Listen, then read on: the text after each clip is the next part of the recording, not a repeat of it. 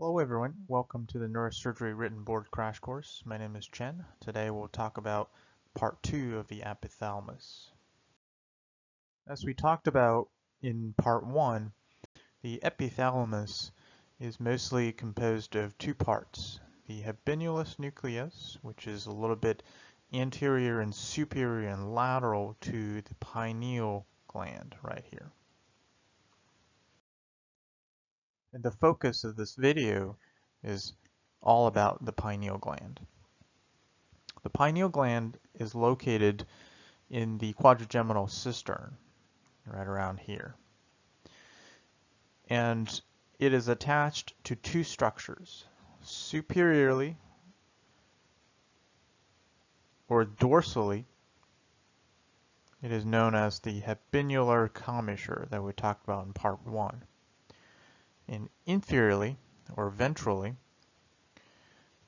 it is connected to the posterior commissure as denoted here.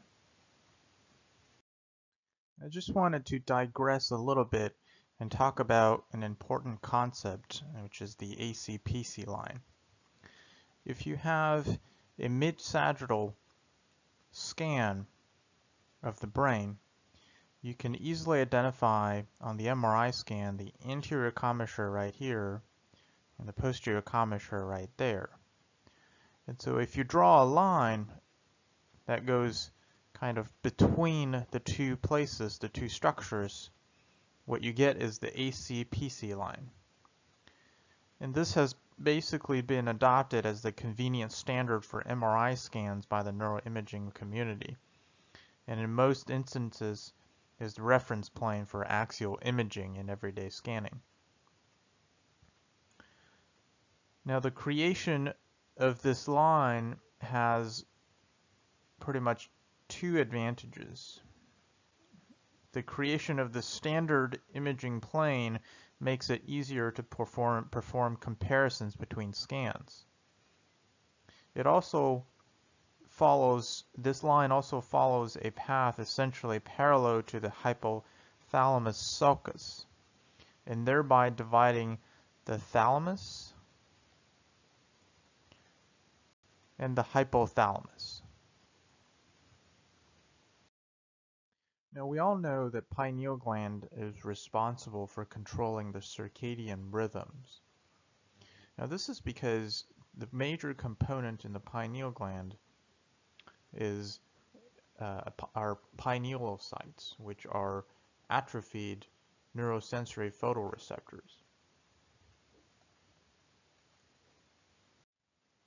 And this is the basis of a disease called trilateral retinoblastomas, which is a malignant uh, primitive neuroectodermal tumor occurring in patients with bilateral retinoblastomas plus a pinealoblastoma. And it is so because it is named so because of it, their histological similarities. And obviously the other components of the pineal glands includes glial cells and sympathetic nerve endings. The pineal gland makes different substances, and typically the first thing that comes to mind is the melatonin. This is actually produced by pinealocytes. The pinealocytes first make serotonin that then converts it into melatonin and the chemical reactions of which uh, this happens is not very important but I just wanted to put this picture or uh, here to show the similarities between the two products. Melatonin obviously is produced at its highest amount in the dark, which facilitates sleep. Pinealocyte also produces hormones such as TSH, LH releasing hormones, and somatostatins. And somatostatins, as we know, inhibits the growth hormones. And so if the pinealocytes over-secretes these hormones, it'll delay puberty because of the somatostatin effects. And if it hypo produce these hormones, it'll lead to precocious puberty. The other part of the pineal gland has terminating sympathetic neurons, which makes norepinephrines.